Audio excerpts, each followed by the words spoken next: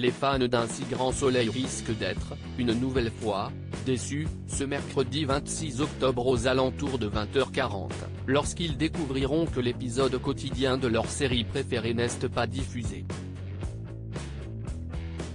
En effet, France 2 a décidé de déprogrammer la fiction se déroulant à Montpellier pour laisser le champ libre à la deuxième de l'événement, sa toute nouvelle émission politique. Deux semaines après une première prise de parole face à Caroline Euro, Emmanuel Macron sera de retour pour répondre, une nouvelle fois, aux questions de la journaliste de France 2. Le 12 octobre déjà, l'épisode d'un si grand soleil avait été déprogrammé pour permettre de diffuser l'entretien avec le président de la République dès la fin du journal. Dans son communiqué, France 2 précise que les épisodes de la série quotidienne seront tout simplement décalés. Pour rattraper ces décalages, la chaîne pourrait être tentée, dans les prochaines semaines, d'organiser une soirée spéciale ainsi grand soleil comme ce fut le cas le 10 août dernier avec 6 épisodes inédits diffusés en une seule soirée.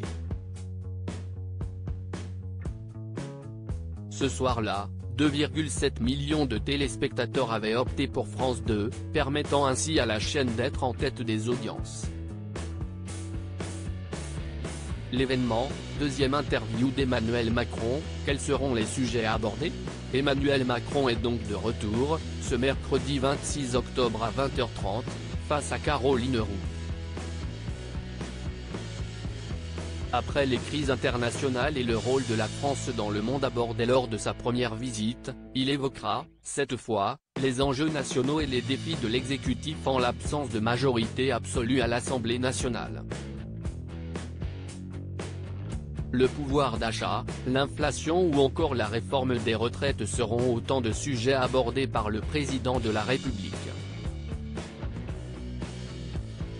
Il y a deux semaines, 5,4 millions de Français avaient regardé le premier échange entre Emmanuel Macron et Caroline Roux.